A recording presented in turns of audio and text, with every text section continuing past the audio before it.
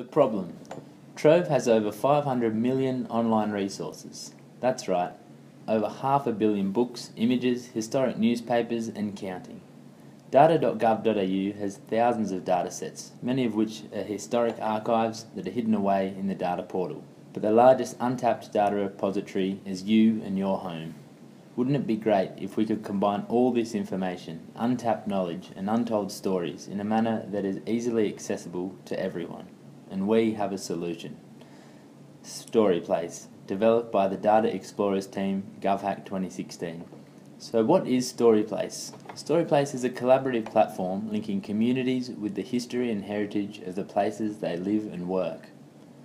It is a place for everyone to share stories and to engage with existing datasets produced by government and cultural institutions such as libraries, museums, archives, and historical societies.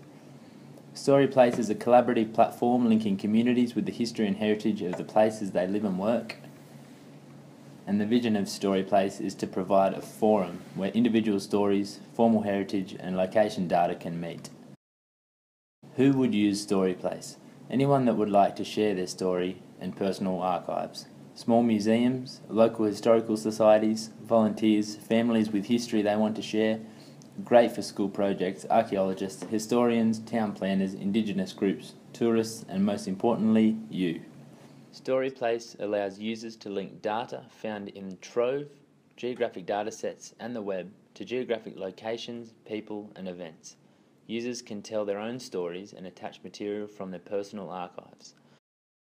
A geographic location may be existing from open government data or can be defined by the user.